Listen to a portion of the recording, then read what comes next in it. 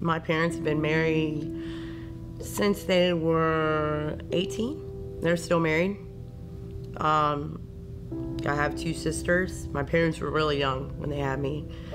My uh, dad actually works in law enforcement. You know, honestly, me and my mom never really got along, but we still don't.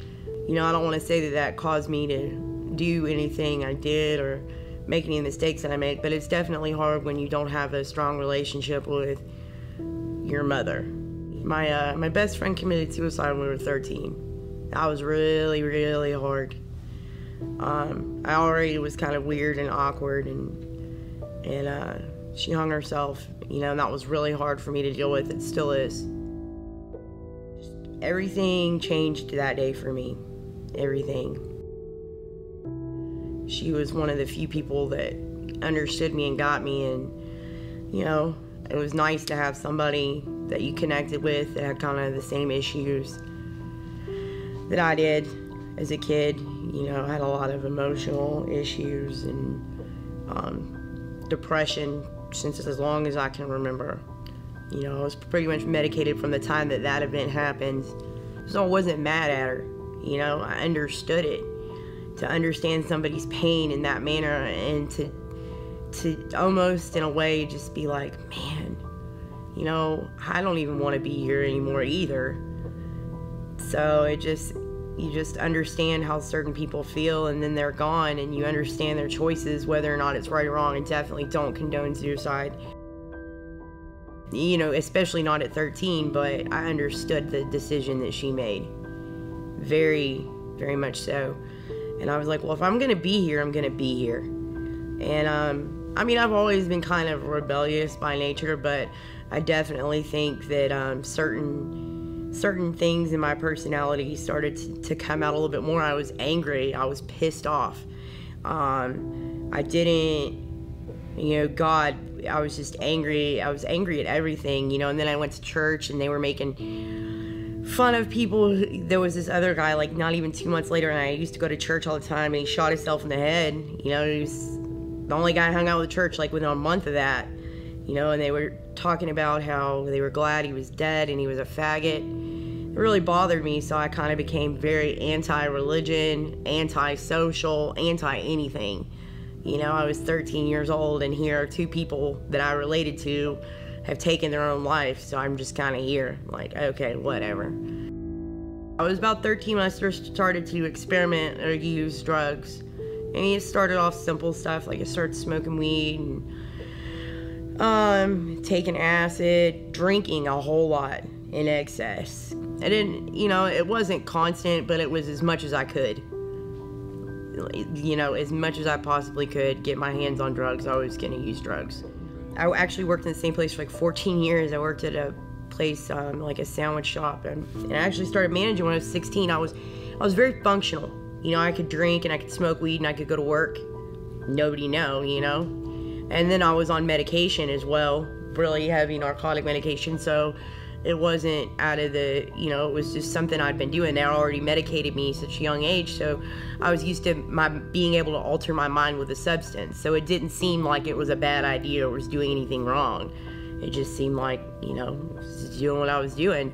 And then I got introduced to meth when I was 28. And um, first time I did it, I don't believe I stopped for three years. It was just bam, continuous. First time I got arrested was actually because I fell asleep on my car in my car um, in a Walgreens. Yeah, that was the first time. And I forgot to pay a taillight ticket. They didn't search my car, so I didn't get any drug charges, but I went to jail for a taillight ticket. Then I got arrested maybe two or three weeks later for the shoplifting charge. I mean, the police arrested me. I had a hundred syringes, scales, bags, I was homeless, so I had all my stuff and belongings. And all they arrested me for was a pair of $2 sunglasses on my head, which I had the money for. I knew I was going to lose my job. You know, it was almost like I could see this goes, you know, like, okay, I can't pay for the kids. I can't do this. I can't do that.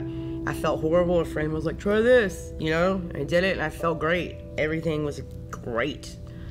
Well, I stayed in the house after I had to, uh, I'm going to be able to pay the rent. I, um, talked to my kid's dad, who I don't really get along with, and said, hey, look, can you take them? And I tried to get in a program immediately. Six month waiting list. It's a homeless prevention program. Had three kids, and I was like, just keep them for six months. I stayed in the house a couple of weeks when I wasn't supposed to. I mean, I was pretty much homeless. There was no electricity. There was a lot. There was candles everywhere. I left there. I just stay where I could. Sometimes, most of the time, in my car. I'd fall asleep a lot in my car. I think once I, you know, I was kind of everywhere. Then that's when I started using other drugs intravenously, such as heroin, and you know, and I'd move out of one place and. You know, it wasn't even really living anywhere. You were literally like you had a couch or a garage, or uh, you could park your car in the driveway and sleep there. But if I could stay up all night and stay going, then it wouldn't matter because I didn't have to worry about anywhere to sleep. So my children, not just even me, but my children, since all this has happened, have had to do the same thing I'm doing live with and stay with whoever is willing to give them an opportunity and a chance to be there. And that breaks my heart because I want more than anything to have them with me. You know, I go to school and I work I mean, I literally, right now, if you said, hey, Jessica, give me your right leg and I will give you a house where you can pay rent and have your kids, I would do it. I, I mean, wouldn't even flinch. The way I found about Georgia Calls is I went to report to felony probation for the first time, and there was a flyer up on the bulletin board, and it was blue. It just said the little wheel on it said Georgia Calls and different requirements. So I took a picture of it and I saved it in my phone. And this sounded like something that could help me change my life. And I went to my interview, and um, I didn't have a car, so I got a ride there. And I was just so like, oh my God, these people are just gonna think I am a wreck. I'm a disaster. I got left my interview. I'm crying. I'm starving. I left my phone. I'm trying to hide outside so nobody can see that I'm still there because I don't have a ride home yet.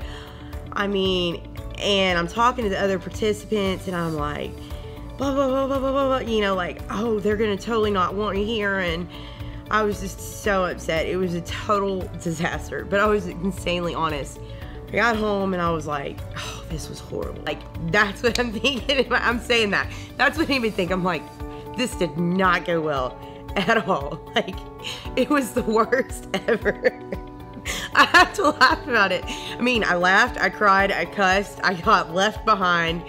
I just tried to hide outside. I wouldn't quit talking. It was so bad. Jeez, I still don't know why Mark hired me. um, my my first fear was getting to and from work. I came in my first day on onboarding and started crying again. Like they actually hired me. I called Sheila back nine times.